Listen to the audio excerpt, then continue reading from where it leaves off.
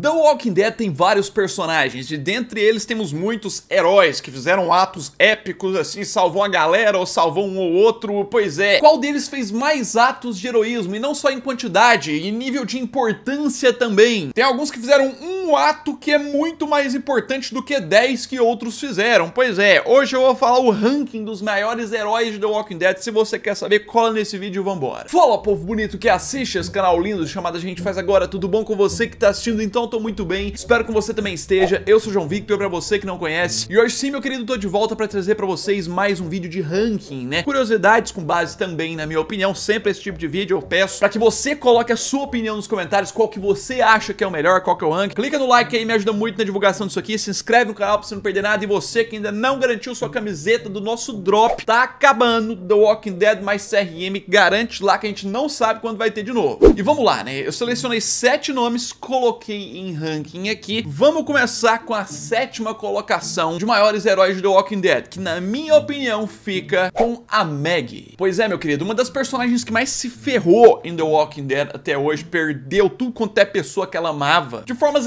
extremamente trágicas. Sim, pra mim ela é a sétima colocação de melhor heroína, porque dentre as coisas que ela fez, a gente começa ali na segunda temporada, no episódio que ela aparece. Ela é uma das primeiras pessoas que o Rick avista ali, oferece ajuda, encaminha ele lá pro Herschel, momento que o Crow tinha sido baleado, além disso também. Mesmo não sendo ela que salva o Crow, faz a cirurgia, ela vai lá, se oferece sozinha pra poder avisar o grupo que ela nem conhece. Na terceira temporada, ela também tem um ato muito forte de heroísmo, ela que faz o parto ali, né, no meio da prisão caótica, loucura, o parto da Judith, no momento que ela nasce, a Lori morre. Final da temporada 7, Negan tomou Alexandria ali com a Jades ajudando ele, tá prestes a matar o Crow. Meg lidera o grupo que chega ali metendo bala, ajudando, defendendo mesmo. Além disso, lidera o grupo na oitava temporada na guerra contra os Salvadores na defesa de Hilltop. E no meio de várias coisas, lá na décima temporada, Padre Gabriel tá pronto pra ser morto pelos sussurradores. Ela manda o Elijah matar todo mundo, chega com esse cara. Ainda salva o Elijah lá quando o sussurrador vai surpreender ele. Pois é, são alguns dos feitos heróicos de Meg, mas que tem outros que são melhores que ela. Vamos seguir pra sexta colocação, pois é, que na minha opinião, de melhores heróis fica com Eugene. Sim, eu sei que de cara já dá pra gente falar que ele não tem tantos atos heróicos como o da Meg, por exemplo, que tá atrás dele nessa lista. Eu não queria colocar ele nessa lista, nunca fui muito com a cara do personagem, nunca gostei muito, só. Além dele sempre ajudar todo mundo ali por trás, na parte tecnológica, ser bem engenhoso em tudo, fez várias coisas pro sobrevivência e pro desenvolvimento das comunidades, ele que desenvolve. Além disso, foi ele que conseguiu contato com o Commonwealth, que no geral não tá sendo muito bom agora, mas se eles não tivessem chegado, o pessoal tinha passado fome. E claro, tem o grande feito heróico dele, que se ele não tivesse feito, geral tinha morrido. Que foi acabar com o exército inteiro de salvadores lá do grupo do Negan no final da oitava temporada na guerra, quando eles cercam a galera na emboscada, estavam prontos para matar, fuzilar todo mundo. Ele sabotou as balas e todas as armas estouram nas mãos ali, um negócio épico. Mesmo sendo um salvamento isolado, pelo nível tão grande de importância nesse salvamento, para mim ele merece essa sexta colocação. E vamos seguir para posição de número 5. Pois é, o quinto maior herói de The Walking Dead, e essa é polêmica, mas o nome dele é Negan.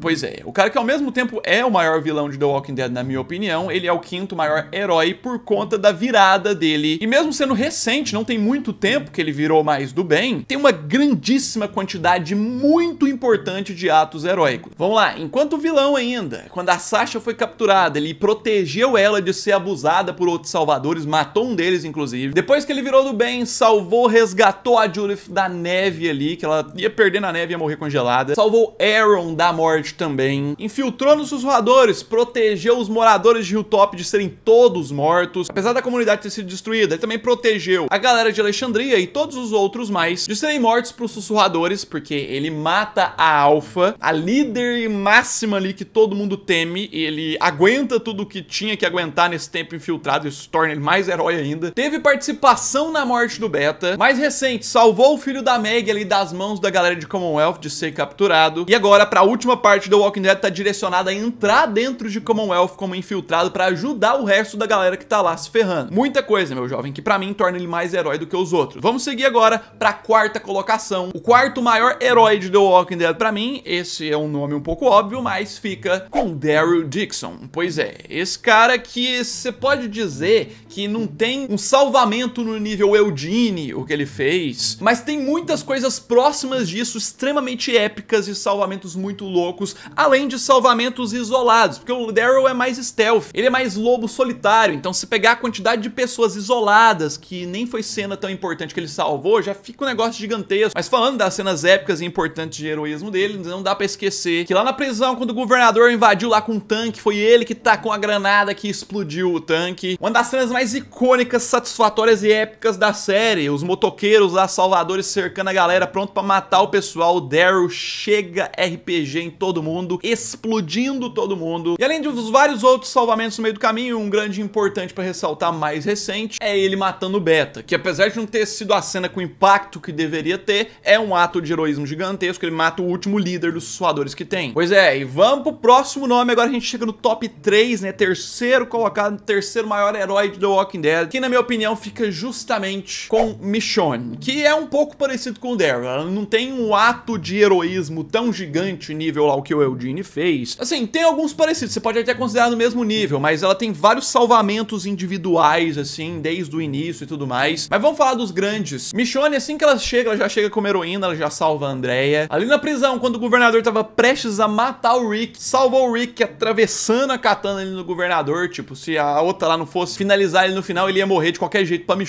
mesmo. Foi forte combatente nas guerras, tudo, e como um ponto mais recente de um grande ato de heroísmo e muito difícil, eu quero falar ali da nona temporada, quando tem um flashback que mostra que ela, grávida, enquanto líder de Alexandria, tem que ir sozinha atrás de um grupo de criança e com alguns adultos psicopatas que capturaram as crianças de Alexandria, principalmente a Jura. É um dos momentos muito fortes, ela tem que matar outras, assim. É muito pesado, mas esse foi um dos maiores atos de heroísmo e nível de dificuldade de The Walking Dead. Tipo, ela tava sem o marido já, né? Sem o Rick. Tirando todos os outros pontos isolados, ela merece pra mim essa terceira colocação. Agora vamos pra segunda colocação. Você já deve imaginar quem que é, se você não sabe. Segundo maior personagem herói de The Walking Dead pra mim é Carol. Por mais chato que às vezes é assistir ela por causa do roteiro, essa mulher, ela é muito heroína, não tem nem o que falar. Começa com ela sendo heroína de ter que aguentar anos ao lado do Ed, que é o marido dela, marido inicial lá, ter conseguido superar a morte dele, ficado completamente forte e resistente, é o maior exemplo de evolução de personagens de The Walking Dead. Mas os grandes atos heróicos mesmo, de salvar um grupo inteiro, né, eu não posso deixar de falar, talvez um dos maiores atos heróicos em nível grande, assim, da série, ela sozinha, One Man Army ali, com fuzil e tudo mais, armas atacando o Terminus e explodindo tudo lá. Se não é a Carol, meu rapaz, estava todo mundo morto aqui no Terminus. Estavam na sequência de matar um por um, acho que o próximo era o Glenn, né? Então foi um ato gigantesco de heroísmo, além desse aí. Carol não matou a Alpha, mas ela foi a mandante e a estrategista para tudo isso. Ela que soltou o Negan, ela que planejou tudo e o Negan só foi lá e fez, executou. Então tá nas mãos dela também o salvamento em relação ali aos sussurradores. E se você falar na autoridade, Carol Carol, como sempre, tá infiltrada ali, agora na liderança de Commonwealth, ajudando a galera e tudo mais, e agora mesmo sendo perseguida, ela vai ajudar mais a galera. Então Carol merece demais essa colocação, mas claro, tem alguém que merece uma colocação acima, que é o mais óbvio possível, não tem como fugir desse óbvio. Primeiro colocado, maior herói de The Walking Dead, obviamente, é Rick Grimes. Nossa, João Vitor, não é não, que ridículo. Filho, é óbvio que é ele sim. Se você esqueceu o que ele já fez, eu vou clarear. Só um pouquinho que não dá nem pra falar tudo. Rick salvou a galera no CDC,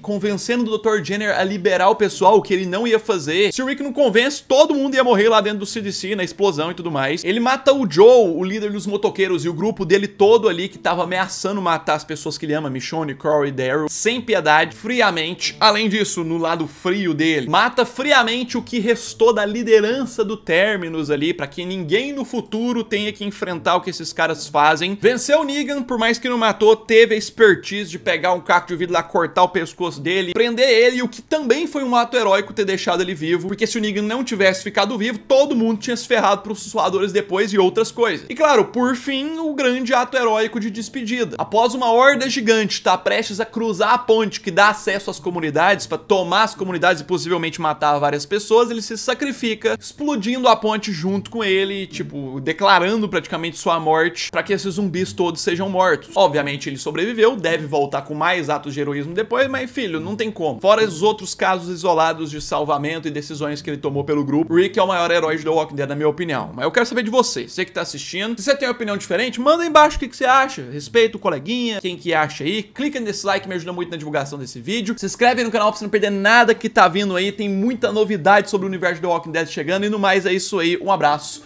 Fui!